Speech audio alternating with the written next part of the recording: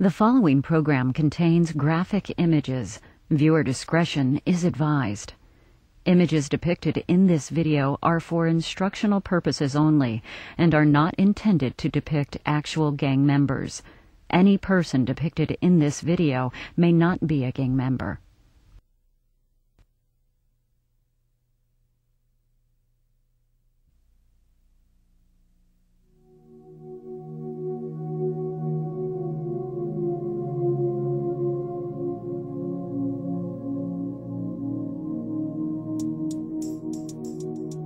One of three things that will happen if you get involved with a gang death, prison, or a medical condition for life. Street gangs are the same thing as terrorists, except they're not coming from outside of our borders. I would never have in my wildest dream thought that I would have a child involved in gangs. It happened. Regular people think that the, the gangs are just an inner city thing. They're mistaken. They do go to movie theaters. They do go to ice skating rinks. The gang members will infiltrate suburban areas. We're talking about money. We're talking about guns. We're talking about drugs.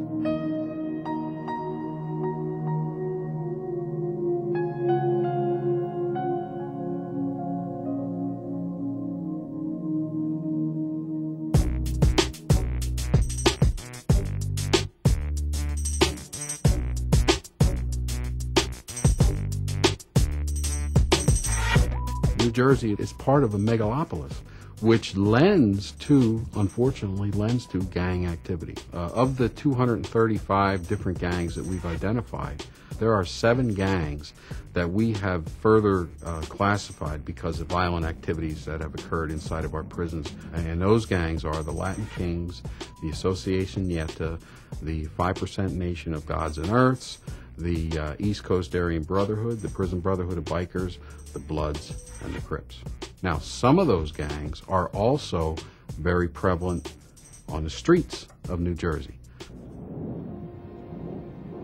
Most gang members are going to schools, they're going to parks, they're going anywhere where they can find kids to do their dirty work, and then what they do is they initiate them make them feel like they're a part of something. And then once you become a part of that gang, now you're obligated to do whatever he wants you to do. They don't come across as the big toughians. They recruit you as we'll protect you, we'll take care of you, we'll provide for you, we'll show you love. Gangs don't call themselves gangs, they call themselves family. My father wasn't there, so that was one of the big factors. We lived off welfare, so that was another factor because I couldn't have some of the things that the other kids have. I didn't have a male figure in there that would teach me about things like this. So I went and looked in the gang, in the leader of the gangs, because they was giving me that male figure and that male love. I was out there drugging, I was out there sticking up people, shooting people for no reason. Uh, someone robbed my mother, so I went, I got a gun, I, I followed them. And you know, when I thought it, the time was right, I shot him twice in the face. So basically, I was facing at least 15 to 30 years. I have something kind of special here for for you guys and girls this morning, and uh, brought someone with me. He's an inmate. He's in prison. My name is Jamel. I'm 24 years of age, and I'm currently serving a seven with a three-year stint for armed robbery, which means I could do no less than three years before I'm eligible for parole. One of the ways you could become a gang member is pretty much whatever they tell you to do is what you have to do. I ain't think about consequences. I wasn't worried because I was always thinking no matter what, they was gonna be there for me. And that wasn't the case. Many of the kids coming in today, the large majority of the kids coming in today come from single parent families and they are not provided what they need and want, care, attention, and love, so they turn to gangs. I've been a police officer going on 37 years. I've seen neighborhoods and communities, actual neighborhoods eroded because of drugs. And now you have this organization of drug dealers, because that's what these gangs are. That's their predominant structure. They deal drugs. They have money, and with money, they buy guns. These are guns that are being used by gang members, drug dealers that are out there on the corners of, of the streets here in Paterson. I use this to demonstrate the type of weapons that these gangs are using. It'll take 12 rounds of shotgun shell, which is either double O buck, or in some cases uh, they use uh, deer slugs. This will clean off any corner. Here's your AK, 30 round magazine, very devastating caliber. This is what they use in Vietnam and what they use in uh, third world countries. They're all over the world. We've had uh, kids as young as eight and nine actually recruited to these gangs. And the reason they use them is for lookouts and to carry drugs and to also carry guns. More and more, we're seeing guns as the instrument of trauma uh, for people fighting other people. Uh, unfortunately, it seems that gangs are becoming more prominent. Our clinic treats individuals between 12 and 25 years of age, and the peak age at which young people come in for injuries related to the gangs is around 17, 16, 17 years of age. Over my career, I'd say at least 15 or 20 young people I've cared for have died because of gang uh, injuries, have been, in other words, murdered. Actually, the grant will come through the juvenile. Uh, the leading cause of death in African Americans between the age of 10 and 24 is homicide.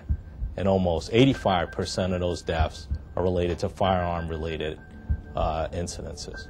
To become a gang member in some, in some organizations, you either, if you're a woman, you have to be sexed in. Um, for males, it's usually being beaten. And it usually takes a lot to affect a seasoned emergency medicine physician. But we had a tragic incident where a 14 year old was being sexed in. And while she was being sexed in, had gone through maybe six or seven members of this subset of a gang and decided that she no longer wanted to be involved with this gang. She was threatened with her life. Uh, she continued to resist, uh, wanted to speak to the authorities. And actually, how it ended was that they ended up shooting her with a 9 millimeter gun in her vagina. My son's not afraid of anything. He, he still has this image that it can't happen to him. His friends are dying all around him. Family members are getting killed, mangled, wheelchair bound, but he just thinks that it can't happen to him. That's the only thing I'm afraid of for him is death. I worry about him. There's nights that I hope and pray that I don't get that phone call that tells me that he's not alive. Um, there's times that I wonder how safe is he? How long is he going to be safe? Then I just pray that he comes back. The day that he he died, uh, when I went to identify the body, I kept saying it, it wasn't him, but it was Chris. You know, they showed us the picture. They didn't let us see the body. They just showed the picture and he had a gash from ear to ear. They had cut his throat. And you could look at his face and see that um, they had beat him. Supposedly, it was because a year beforehand, Chris was out with someone who was called Baby OG. And the young man got in trouble or whatever, and Chris didn't come to his assistance. I guess he wanted Chris to fight for him. He had a laugh that is very contagious, and believe it or not, his younger brother, if you close your eyes, sound just like him. I've never told him that. He really was a good guy. And I think I, I miss that most about him, just his laughter.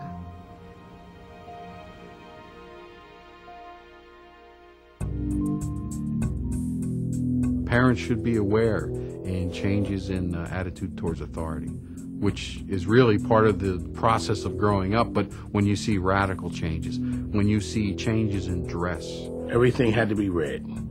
Uh, red hat, red and white sneakers, red and white pants, a white shirt with the bandana with a red and white bandana on it.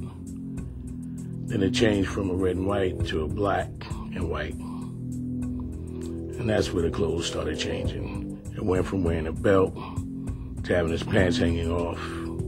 When you see uh, changes in friends, the type of friends, the, the, fact that maybe your your son or daughter doesn't want to bring uh, their friends home, doesn't want you to meet their friends, then you're going to have to start questioning who are these people.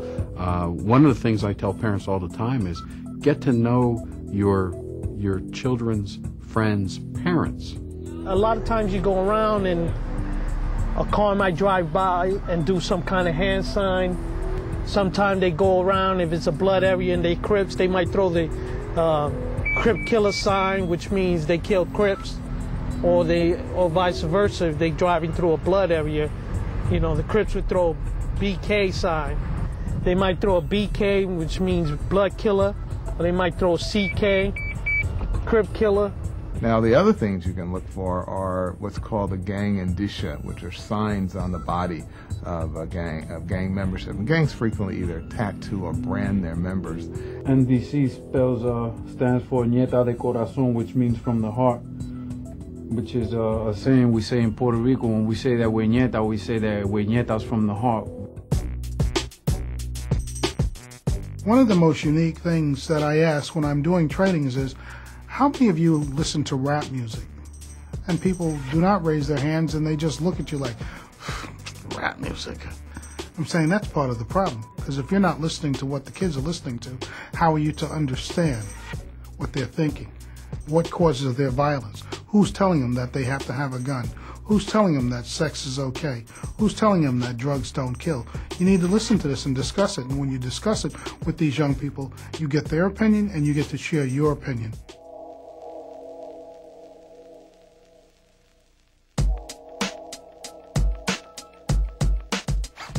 Anytime you have graffiti up, we consider it newspaper on the street, that the street people understand what's going on, the gang members know what's going on, they know who's who and uh, what's what. What we have here is a double tattoo or a double graffiti mailbox here. As you can see, you have the ATC 13. That's a little possibly we have a Mexican individuals here, possibly affiliated with MS-13. And then you would have the outlaw LAW O-U-T-L-L-A-W, that would be considered with the Bloods. What it's showing me here is I have some type of blood activity and I also have my Mexican groups here also. I guess the Bloods want the Mexican group to know that they're in the area as well. So if it comes down to a drug trade or a drug uh, situation, they're going to know who is involved in uh, all the players. Right now we're under a gazebo in a, in a park in suburbs of Trenton. Um, some of the gang tattoos that we recognize here as being affiliated with Bloods, Crips, Ñetas, or I'm gonna go around and show you what they're looking like. You got right here, you got your Crip rules, BK, stands for Blood Killer. More times than not, when you're dealing with a Crip, he will slash the B out to disrespect the Bloods. You come around over here, you'll see the term LOC, L-O-C. LOC stands for Love of Crip or a lot of Crip, which is also a Crip term. So it kind of justifies that yes, there are um, gives credibility that there are Crips here. There are certain towns in the state of New Jersey that don't want to believe that there's any kind of at least a presence of gang activity, whether it be one member, two members, graffiti. I mean, it had to come from someplace. All our operations will be done on uh, Talk 4. Anything to deal with motor vehicles will be done on IPD 1. Any uh, chases will go through IPD 1. The Essex Anti-Crime Task Force is comprised of uh, representatives from uh, state, local, and county uh, agencies tasked here in Irvington to address the quality of life issues and the uh, rampant crime that's, uh, that's occurring here and the large gang problems they have. Hands up, Piru City, CK all day. You can see kids starting at the age of 10, 11, 12, seems like every kid in Irvington is somehow joining or hanging out with gang members. It's not all of them, but you know, a lot of the kids, you know, parents got to look and see what their kids are doing and who they're getting involved with. From August 2003 to August 2004, we've effected over 1,200 arrests. Um, the large majority of those have been gang-related uh, arrests, narcotics arrests, and weapons arrests. I think New Jersey's taken uh, a very proactive approach to uh, gang reduction. One of my concerns, majorly, as a mother of three, is a lot of the gang-related that's happening or that can come into Perth Amboy.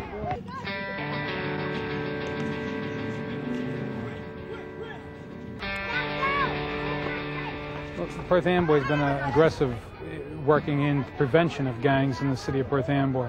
Uh, we have eight officers that are the great training, that's gang resistance education and training, who go to the schools, the seventh grade, and, and teach that. Also down here in the safe haven, there are times during the school year that issues are brought up, uh, some fights that occur in the schools between groups of kids.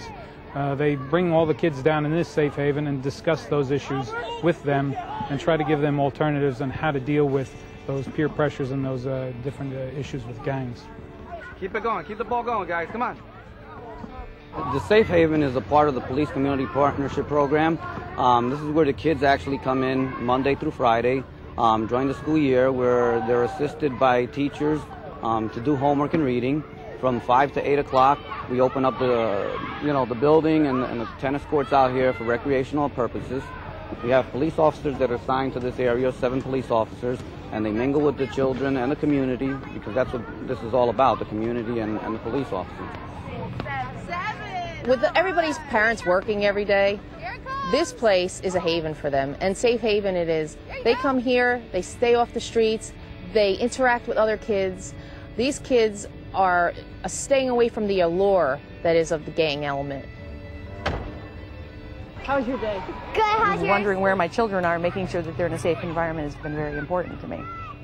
They're in an environment where the community police are right there. How can you ask for more safety? Their minds are being stimulated here. They're being stimulated not only through education, but through recreation. They see their future here. And with that, they know that gangs are not the place for them. This is not a problem that is just a flash in the pan. This is a problem that has accumulated, uh, has has manifested itself over at least one to two generations, and it's going to take a couple more. Once we come to terms with ourselves and say it is a problem, because there's a lot of denial out there. Any race could be a gang member now. I guess because they want to get their power base up, they have now recruited into any racial divide. I'm trying to be a part of the solution, not the problem. And if we had more parents to take out the time and stop thinking that it can't happen to them or their children, we might be able to save some of them. Get involved with your kids, especially if you live in an environment where, you know, there's a lot of gang activity, a lot of drug activities. Basically, they're going to get caught up in the game. So, you know, my suggestion to parents is, you know, watch your kids. If you have to walk them to school, walk them to school. If you have to, you know, pick them up at school, do that also because that's where these people breed at. The family is number one, the family is number two, the family is number 100, and after that, other things come. But we have to do a job of strengthening our families, and I think that's the only way we're going to solve this problem. For a person to really want to be in a gang, he has to either enjoy prison or he's anxious to die. One or the other. You know, because it's nothing, you, if I look back on my life, all the years that I was in the gang, you know, I look at it as it hasn't made my life any better. At all. Nothing good came out of it. Before, they were there to protect the culture. They were there to protect the Catholics. They were there to protect the Chinese, the Irish, the Italians. They were protecting each other's communities. Today, it's about business. It's about thugism. It's about dealing and making money. And that's the major change. And that we cannot blame on history. That we cannot blame on the government. That we cannot blame on law enforcement. That we cannot blame on our schools. That is a parenting problem.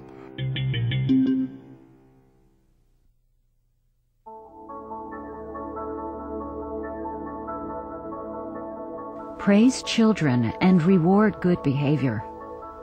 Involve children in extracurricular activities in school and the community. Know your children's friends and parents. Monitor your child's whereabouts and activities. Provide a positive role model.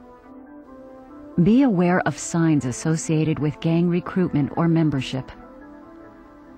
Intervene quickly when gang activity is suspected.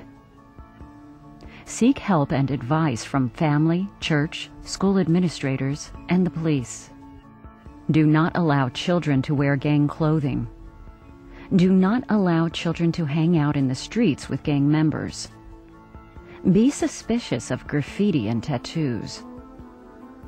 Learn about drugs and gangs.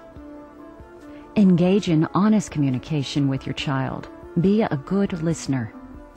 Talk with your children about decision making. Start early.